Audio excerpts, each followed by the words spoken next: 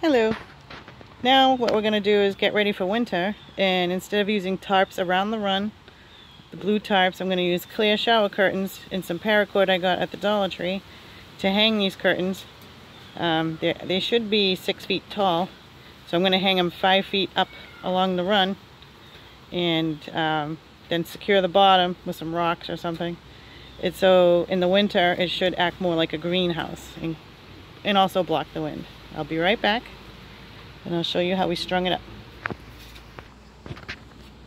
Okay, so here's our run. We did have the blue top here, um, which did a good job of blocking wind, but what I want to do is cover this entire length on this side and part of the length on that side and then probably on this side so that at least one one side's open but we do get rain coming in this way. So I'm gonna hang some there but not but keep them pulled to the side until I actually need them for a storm. And so I'm just gonna measure about five feet up because I know that this is nine feet tall and no six six feet tall? Six feet tall and nine feet wide. And I'll be right back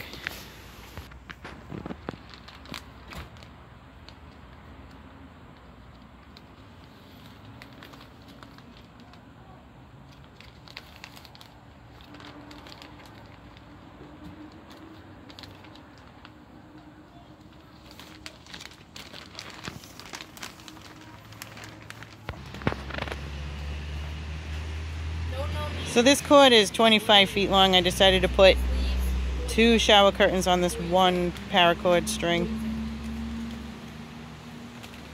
And then we'll put it up and then fix it all nice, nice. That's poison too. Mom. Mm -hmm.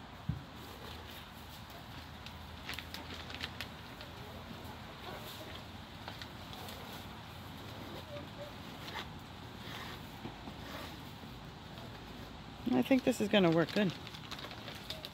It's really heavy duty shower curtain. When they said heavy duty, they meant it. It'll be nice because then I can see the chickens too instead of the blue tarp where it blocks their view, my view of them.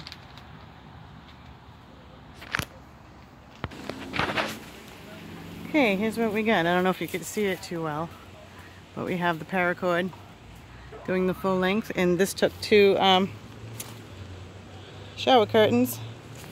So now that it's, I, I got it tight, all I did was tie it to the chicken wire on each side. Now that we got it tight and this is all straightened out, we'll just put rocks right along here to hold it down. Flapping in the wind type of thing. And then there's plenty of paracord left over. I can continue on this side. And what's nice is I can just slide this over if I want to open it up. There's plenty of ventilation at the top for the chickens.